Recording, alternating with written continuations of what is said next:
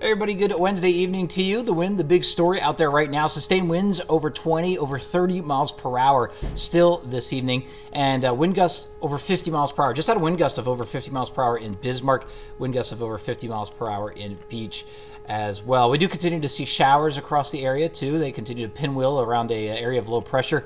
Looks like more showers are moving in towards central North Dakota over the next uh, few hours or so. Eventually, things will begin to taper down, but uh, not until we see very strong winds here overnight. Temperatures dropping down back down to the 50s. Uh, highs tomorrow, temperatures going to warm back up into the 70s.